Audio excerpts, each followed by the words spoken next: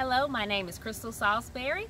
I reside in Oxford, Alabama, and I have been in the experiential marketing industry for the past four years.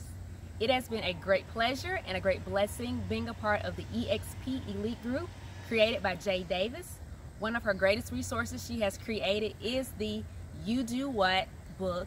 It is filled with lots of information, great resources for those who are entering the experiential marketing profession and for those who have been in it for quite some time. I have learned so much from this book, also learning more from the pop-up discussions, her videos on YouTube.